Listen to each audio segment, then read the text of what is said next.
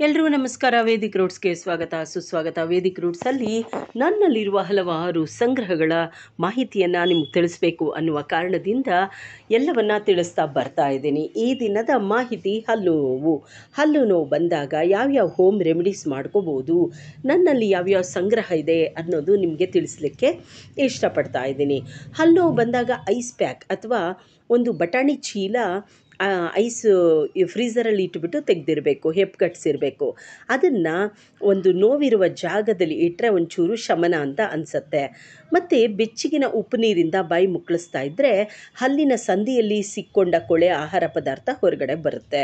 ಬೆಳ್ಳುಳ್ಳಿ ಎಸ್ಲನ್ನು ಜಜ್ಜಿ ಅಥವಾ ಪುಡಿ ಮಾಡಿ, ಅದನ್ನು ಉಪ್ಪು ಜೊತೆ ಬೆರೆಸಿ, ನೋವಿರೋ ಜಾಗಕ್ಕೆ ಇರಿಸ್ಕೊಂಡ್ರೆ ನೋವು ಕಡಿಮೆ ಅಂತ ಅನಿಸುತ್ತೆ. ಮತ್ತು ಪುದೀನ ಎಲೆ ಮೂವತ್ತು ನಿಮಿಷ ನೀರಲ್ಲಿ ಕುದಿಸ್ಬೇಕು. ಈ ಮಿಕ್ಸ್ಚರಿಂದ ಬಾಯಿ ಮುಕ್ಕಳಿಸ್ಬೋದು. ಒಂದು ಹತ್ತಿ ಉಂಡೆಯನ್ನು ಪುದೀನ ಎಣ್ಣೆಯಲ್ಲಿ ಅದ್ಬಿಡೋದು ನೋವಿರೋ ಜಾಗದಲ್ಲಿ ಇರಿಸಿದ್ರೆ ನೋವು ಕಡಿಮೆ ಅಂತ ಅನಿಸುತ್ತೆ. ಒಸಡಲ್ಲಿ ಸೋಂಕಾಗಿದ್ದರೆ ಹಸಿ ಈರುಳ್ಳಿನ ಸಣ್ಣ ಭಾಗಗಳಾಗಿ ಚಿಕ್ಕ ಚಿಕ್ಕ ಪೀಸಾಗಿ ಕತ್ತರಿಸಿ. ನೋವಿರುವ ಹಲ್ಲುಗಳ ಭಾಗದ ಮೇಲಿಟ್ಟು ಅಗಿರಿ. ಅಥವಾ ಹತ್ತು ನಿಮಿಷದವರೆಗೂ ಆ ಚೂರನ್ನು ಒಸಡಿಗೆ ಇಟ್ಕೊಂಡು ಹಾಗೆ ಇಟ್ಕೊಂಡಿದ್ರೆ ಸ್ವಲ್ಪ ನಿಮಗೆ ಸೋಂಕು ಕಮ್ಮಿ ಅನಿಸುತ್ತೆ. ಮತ್ತು ಹಲ್ಲು ಪೀಡಿತ ಆಗಿರುತ್ತಲ್ಲ ಆ ಜಾಗದಲ್ಲಿ ಒಂದು ಕ್ರಷ್ ಮಾಡಿರೋ ಲವಂಗ ಪೇಸ್ಟು ಅದನ್ನು ಹಚ್ಕೊಳ್ಳಿ. ಮೂವತ್ತು ನಿಮಿಷ ಬಿಟ್ಟದ ಮೇಲೆ ವಾಶ್ ಮಾಡ್ಕೋಬೋದು. ಮತ್ತು ಹಲ್ಲು ತೂತಾಗಿ ಹುಳು ಆಗಿದ್ದರೆ ಇಂಗನ್ನು ನೀರಲ್ಲಿ ಕುದಿಸಿ ಆಮೇಲೆ ಆ ನೀರಿಂದ ನೀವು ಬಾಯಿ ಮುಕ್ಕಳಿಸಿದ್ರೆ ಸ್ವಲ್ಪ ನಿಮಗೆ ಏನೋ ಒಂಚೂರು ಶಮನ ಅಂತ ಅನಿಸುತ್ತೆ. ಮತ್ತು ಸಾಸಿವೆ ಎಣ್ಣೆ ಮತ್ತು ಸೈಂಧವ ಲವಣ ಎರಡನ್ನು ಸೇರಿಸಿ ಪೇಸ್ಟ್ ಮಾಡ್ಕೋಬೇಕು. ಹಲ್ಲಿನ ನಡುವೆ ಇರಿಸಿದ್ರೆ ಹುಳ ಇದ್ದರೆ ಕಮ್ಮಿ ಆಗತ್ತೆ. ಮತ್ತು ಬೇವಿನೆಲೆ ಕಷಾಯ ಅದಕ್ಕೆ ಒಂಚೂರು ಅರಿಶಿನ ಸೇರಿಸ್ಬಿಟ್ಟು ಬಾಯಿ ಮುಕ್ಕಳಿಸಿದ್ರೆ ಕೂಡ ಹಲ್ಲು ನೋವು ಕಮ್ಮಿ ಆಗುತ್ತೆ.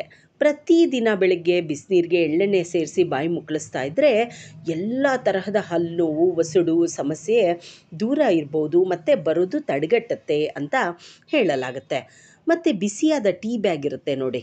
ಅದನ್ನು ನೋವಿರುವ ಹಲ್ಲಿನ ಮೇಲಿಟ್ಟು ಗಟ್ಟಿಯಾಗಿ ಜಗ್ಗಿಯೋ ಥರ ಆ ರಸ ಬರೋ ಥರ ಇಟ್ಕೊಂಡ್ರೆ ಹಲ್ಲು ಉಳ್ಗೋಗುತ್ತೆ.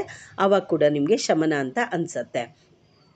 ಒಂದು ಸ್ಪೂನು ಶುದ್ಧ ತೆಂಗಿನೆಣ್ಣೆ ಮೂವತ್ತು ನಿಮಿಷ ಕಾಲ ಬಾಯಲ್ಲಿ ಮುಕ್ಕಳಿಸ್ತಾ ಇರಬೇಕು.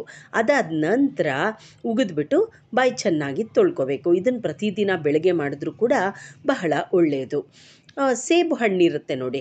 ಆ ಹಣ್ಣಿಂದ ಒಸಡು ಮತ್ತು ಹಲ್ಲು ಮೃದುವಾಗಿ ತಿಕ್ಕಿದ್ರೆ ಒಸಡಲ್ಲಿ ರಕ್ತ ಬರ್ತಾ ಇದ್ದರೆ ನಿಲ್ಲತ್ತೆ. ತೆಂಗಿನ ಚಿಪ್ಪನ್ನು ಸುಟ್ಟುಬಿಟ್ಟು ಬೂದಿ ತಯಾರಿಸ್ಕೋಬೇಕು. ಅದರಿಂದ ಹಲ್ಲುಜ್ಜಿದ್ರೆ ದಂತಕ್ಷಯ ನಿವಾರಣೆ ಆಗತ್ತೆ.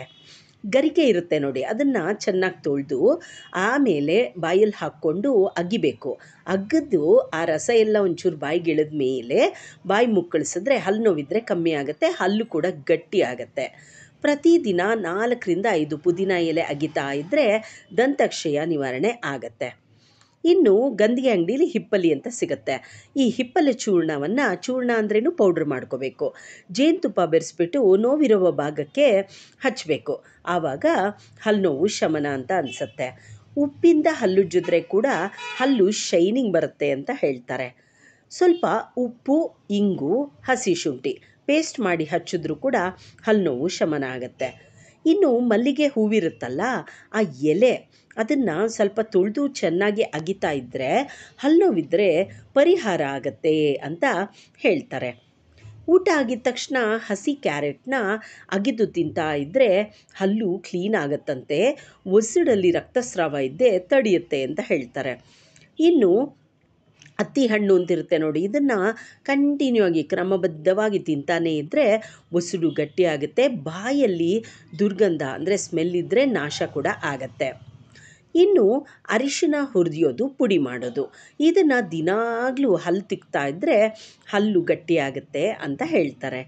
ತೂತು ಬಿದ್ದು ಹಲ್ಲು ಸಿಡಿತಾ ಇರುತ್ತೆ. ಆವಾಗ ಹತ್ತಿಯ ಬೀಜ ಇರುತ್ತೆ ನೋಡಿ. ಅದನ್ನು ಮಸಿ ಮಾಡಿ ಮಸಿ ಮಾಡಿ ಅಂದರೆ ಫುಲ್ ಪೌಡರ್ ಎಲ್ಲ ಮಾಡಿಬಿಟ್ಟು ಆ ತೂತೊಳಗಿಟ್ಕೊಂಡ್ರೆ ಸ ಕಮ್ಮಿ ಆಗುತ್ತೆ. ಆಮೇಲೆ ಐಸ್ ಕ್ರೀಮು ಅತಿಯಾಗಿ ಸೇವಿಸಿದ್ರು ಕೂಡ ಹಲ್ಲು ಹಾಳಾಗತ್ತೆ ಅಂತ ಹೇಳ್ತಾರೆ. ಇನ್ನು ಒಸಡು ಹುಣ್ಣಾಗಿದ್ದರೆ ಸೀಬೆ ಎಲೆಗಳಿರುತ್ತೆ ನೋಡಿ, ಸೀಬೆ ಹಣ್ಣಿಂದ ಎಲೆ ಅದನ್ನು ಪೇರಳೆ ಹಣ್ಣು ಅಂತ ಕೂಡ ಹೇಳ್ತಾರೆ.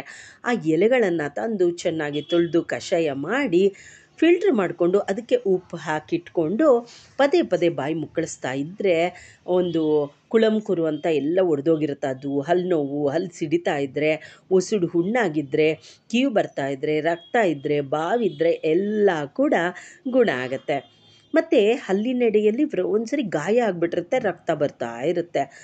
ಆವಾಗ ಗಂಧದ ಎಣ್ಣೆ ಇರುತ್ತೆ ನೋಡಿ, ಪ್ಯೂರು. ಅದರಲ್ಲಿ ಹತ್ತಿ ನೆನೆಸಿ ಒಸಡಿಗೆ ಸವರಿ ಹಲ್ಲಲ್ಲಿ ಇರಿಸ್ಕೋಬೇಕು. ಸ್ವಲ್ಪ ಹೊತ್ತಿನ ನಂತರ, ಅಂದರೆ ಒಂದು ಐದರಿಂದ ಹತ್ತು ನಿಮಿಷ ಇಟ್ಕೊಂಡು ಅದಾದ ನಂತರ ಬಾಯಿ ತೊಳ್ಕೊಬೋದು. ಇನ್ನು ತುಳಸಿ ಎಲೆ ಇರುತ್ತೆ ನೋಡಿ, ತುಳಸಿ ಎಲೆಗಳನ್ನು ಉಪ್ಪಿನ ಜೊತೆ ಹಾಕ್ಕೊಂಡು ಚೆನ್ನಾಗಿ ಅಗದ್ಬಿಟ್ಟು ನೋವಿರೋ ಜಾಗಕ್ಕೆ ಒಂಚೂರು ರಸ ಬಿಟ್ಕೊತಾ ಇದ್ದರೆ ಆವಾಗ ನಿಮ್ಗೆ ಏನೋ ಒಂಥರ ರಿಲೀಫ್ ಅನಿಸುತ್ತೆ, ಶಮನ ಅಂತ ಕೂಡ ಅನಿಸುತ್ತೆ. ಇದೇ ರೀತಿ ನನ್ನಲ್ಲಿ ಹಲವಾರು ಸಂಗ್ರಹಗಳಿದೆ. ಒಂದು ಹೆಲ್ತ್ ಇರ್ಬೋದು ಟಿಪ್ಸ್ ಇರ್ಬೋದು ಬ್ಯೂಟಿ ಟಿಪ್ಸ್ ಇರ್ಬೋದು, ಏನಾದರೂ ಇರ್ಬೋದು. ಎಲ್ಲ ಸಂಗ್ರಹಗಳು ನಿಮಗೆ ವೇದಿಕ್ ರೋಡ್ಸ್ ಯೂಟ್ಯೂಬ್ ಚಾನಲಲ್ಲಿ ಸಿಗುತ್ತೆ. ಅದಕ್ಕೆ ನೀವೇನು ಮಾಡಬೇಕು? ವೇದಿಕ್ ರೋಡ್ಸ್ ಯೂಟ್ಯೂಬ್ ಚಾನಲನ್ನು ಸಬ್ಸ್ಕ್ರೈಬ್ ಮಾಡ್ಕೋಬೇಕು. ಸಬ್ಸ್ಕ್ರೈಬ್ ಮಾಡ್ಕೊಳ್ಳಿಕ್ಕೆ ಯಾವುದೇ ರೀತಿಯ ಹಣ, ಶುಲ್ಕ, ದುಡ್ಡು ಏನು ಕಟ್ಟೋ ಹಾಗಿಲ್ಲ. ಸಂಪೂರ್ಣ ಉಚಿತ. ವೇದಿಕ್ ರೂಟ್ಸಿಗೆ ಬಂದು ವೇದಿಕ್ ರೂಟ್ಸ್ ಅನ್ನುವ ಪದದ ಪಕ್ಕ ಸಬ್ಸ್ಕ್ರೈಬ್ ಅನ್ನುವ ವರ್ಡ್ ಇರುತ್ತೆ. ಅದನ್ನು ಜಸ್ಟ್ ಪ್ರೆಸ್ ಮಾಡಿದ್ರೆ ಸಾಕು. ಅದ್ರ ಪಕ್ಕ ಬೆಲ್ ಬಟನ್ ಇರುತ್ತೆ. ಅದನ್ನು ಕೂಡ ಒತ್ತಿದ್ರೆ ಸಾಕು. ನೀವು ಸಬ್ಸ್ಕ್ರೈಬ್ ಆಗ್ತೀರಾ? ಅಷ್ಟೇ. ಯಾಕೆ ತಡ ಮಾಡ್ತಿದ್ದೀರಾ? ಈಗಲೇ ಸಬ್ಸ್ಕ್ರೈಬ್ ಮಾಡ್ಕೊಳ್ಳಿ.